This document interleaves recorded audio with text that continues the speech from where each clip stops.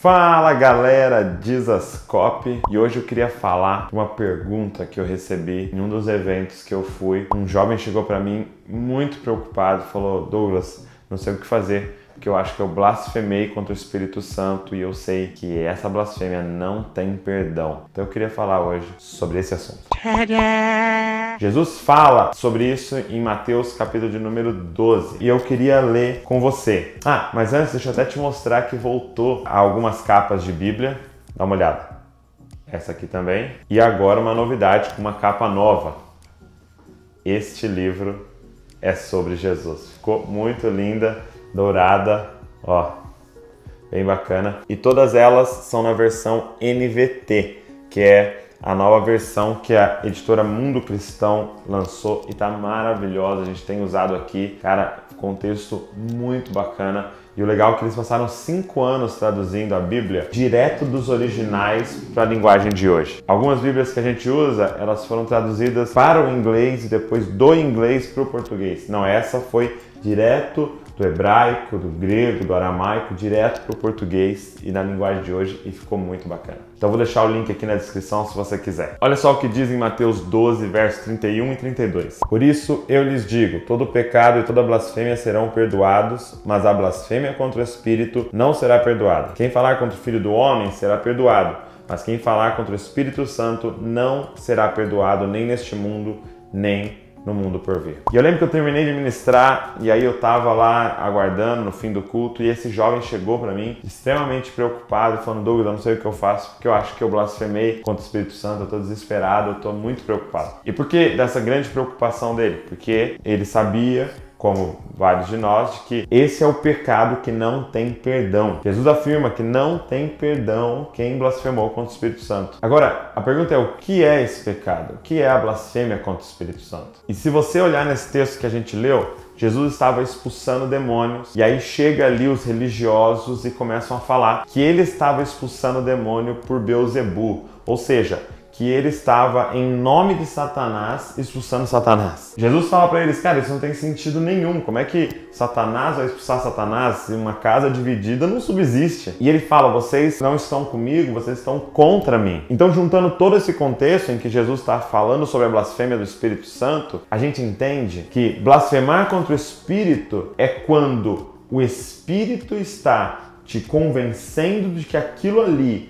é de Deus de que Jesus está se revelando para você e você decide, para não ter que mudar de vida, ignorar essa voz. Porque aqueles fariseus, aqueles caras sabiam que quando o Filho de Deus se manifestasse, ele teria poder sobre as trevas. E eles estavam vendo na frente deles ele fazendo milagres, ele expulsando demônios, eles estavam vendo as evidências de que aquele cara vinha de Deus, eles sabiam. Mas, como a mensagem daquele homem mexeria no estilo de vida deles, no orgulho deles, eles decidiram deliberadamente dizer: não, isso não é de Deus, isso é de Satanás. A blasfêmia contra o Espírito Santo é quando o Espírito está revelando Jesus para você, te convencendo que você precisa mudar de vida e de que você precisa se arrepender e passar para o lado de Deus, e você deliberadamente fica negando, negando, negando, negando que aquilo é de Deus. É quando aqui dentro você sabe que aquela palavra é de Deus, é quando aqui dentro você sabe que é Deus falando com você na sua consciência e você escolhe negar repetidamente. Olha só o que Paulo escreve para Timóteo em 1 Timóteo capítulo 1, verso de número 19. Apegue-se à fé e mantenha a consciência limpa, pois alguns rejeitaram deliberadamente a consciência e como resultado a fé que tinham naufragou. E Mineu e Alexandre são dois exemplos. Eu os entreguei a Satanás para que aprendam a não blasfemar. Paulo está dizendo que blasfemar é rejeitar a boa consciência deliberadamente, ou seja, sabendo o que está fazendo. É quando o espírito está aqui acusando, acusando, acusando, está errado, sai desse caminho, para com essa prática, muda de vida, faz outras escolhas e você conscientemente fala: não, Não, eu vou fazer só mais dessa vez. Não, só mais um mês. Não, vou continuar. Não, eu, eu não posso mudar de vida agora. Eu vou continuar. Ou seja, com a consciência acusando você, você nega a sua própria consciência. Paulo chama isso de blasfêmia. Agora a pergunta é: por que não tem perdão. E olha o que está escrito em João, capítulo 16, verso 7. Mas, na verdade, é melhor para vocês que eu vá, pois se eu não for, o encorajador não virá. Se eu for, eu o enviarei a vocês, e quando ele vier, convencerá o mundo do pecado, da justiça e do juízo. Jesus está falando que era melhor que ele fosse, porque quando ele fosse, ele enviaria o Espírito Santo, que ele chama de encorajador, de consolador. E aí ele nos, nos fala que qual é o papel do Espírito Santo quando ele vier? Primeira coisa é convencer o mundo do pecado. Por que, que o pecado contra o Espírito Santo não tem perdão? Quando você deliberadamente nega a ação do Espírito Santo na sua vida, chega uma hora que ele para então de agir na sua vida e você não tem ninguém para te convencer do seu pecado. E por não ter ninguém para te convencer do seu pecado, não tem perdão. Seria mais ou menos assim: imagina que você tem um amigo que sempre te aconselha e aí você tá ali, você briga com a sua mãe, e você tá chateado com a sua mãe, e aí seu amigo chega e fala, cara, não faz isso. Ela é sua mãe, cara, lembra tudo que ela fez por você. Aí você fala, é mesmo, né, cara? Vou pedir perdão à minha mãe. Você vai lá e pede perdão à sua mãe. E aí lá na escola, você briga com uma outra amiga e fica, discute com ela e dá um problema. E aí seu amigo chega e fala, cara, não faz isso, cara. Ela tá num, num dia ruim, aconteceu isso, isso, isso na vida dela. Pô, tem misericórdia dela, cara. Aí você fala, pô, é mesmo, né, cara? Como é que eu briguei com ela?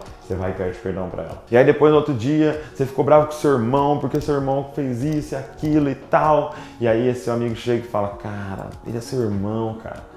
Ele é seu sangue. Ele, como é que você vai brigar com ele? Não, mano, não faz isso. Não, não sei o que, mas aí ele te convence. Você fala, não é verdade, né? Vou lá e peço perdão pro meu irmão. Até o dia em que você briga com esse seu amigo. Até o dia em que você insiste tanto em brigar com esse seu amigo que você perde o seu conselheiro. E aí, quem é que vai te ajudar a pensar que você está errado e que você deveria voltar atrás? O papel do Espírito Santo é nos convencer do pecado e nos levar ao arrependimento. E se você deliberadamente nega ele constantemente, chegará uma hora que ele não vai mais te aconselhar e aí você não vai mais se arrepender. Por isso eu quero falar para você a mesma coisa que eu falei para aquele jovem naquele dia. Se você hoje está preocupado se você blasfemou contra o Espírito Santo, significa que você não blasfemou contra o Espírito Santo. Por quê? Porque se você está preocupado que desagradou a Deus, significa que essa preocupação é uma ação do Espírito Santo e que ele está aí falando com você. No momento em que ele, ele parar de te aconselhar, não tem mais esse sentimento de preocupação. Ai, será que eu desagradei a Deus? Porque esse sentimento é uma obra do Espírito. Então, o que eu gostaria de falar para você hoje é: todas as vezes que Deus ministrar o seu coração, que o Espírito Santo apontar na sua consciência de algo precisa ser mudado, corre para fazer o que o conselheiro está falando para você fazer. Espero que esse vídeo tenha abençoado você. Se você tem outras perguntas, outros questionamentos sobre a palavra de Deus, envie aqui nos comentários. A gente vai tentar ir escolhendo alguns para a gente ir respondendo. E também comenta aqui o que Deus falou com você. Compartilhe esse vídeo com a galera. Tem muita gente que tem essa dúvida. Deixa um joinha aqui, um curtir para esse vídeo ser mais espalhado ainda no YouTube. Ah, se inscreve no nosso canal. Nós estamos chegando aí 260 mil inscritos se inscreve lá, chama os seus amigos para se inscrever, vem fazer parte da família Jesus Deus abençoe você e não se esqueça, você é uma cópia de Jesus.